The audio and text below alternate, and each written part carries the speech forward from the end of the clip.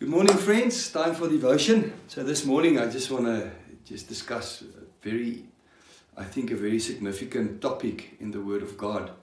In Romans chapter 8, verse 37, it says, In all these things we are more than conquerors through him who loves us. So in all these things, if we go back to the previous to, to the previous verses, we see that Paul wrote about things that he went through. Uh, they went through persecutions. They went through harsh things, being being pushed out by the community, um, sicknesses, going hungry, um, all things. Even times where they where they they would testify that it went well with them. They had more than enough. But in all these things, he said, whatever you can think of, whether height or depth, whether principality, anything in the universe, anything you can think of, or you can get your mind on Paul says, in all these things, we are more than conquerors. I think in today's season, he would say, even in, in COVID, in, in a third wave of COVID, whatever we experience in all these things, we are more than conquerors. So John Wesley wrote a comment on, on this verse, and he said, We are more than conquerors, meaning we are not just no losers. Because in, in, if, if I say I'm not a loser, it means I'm a winner.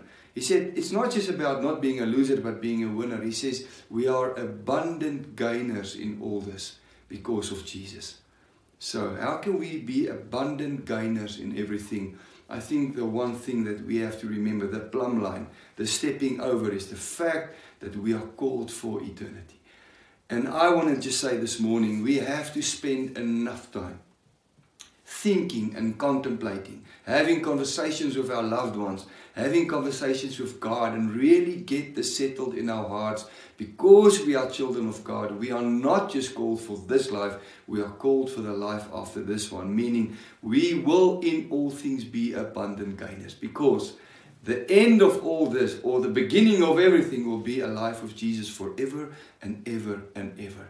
That is why Paul can write in a, in a different letter. He says, if I if I live, it is Christ. If I die, it is gain. So whether I live now, 70 or 75 or 80 or 100 years, or whether I die now, that is gain. That is with Jesus. And here, man, that will only be Christ and for Christ. So I want to encourage you. I know things are difficult sometimes. I, we don't have all the answers to all the things, but we have one answer.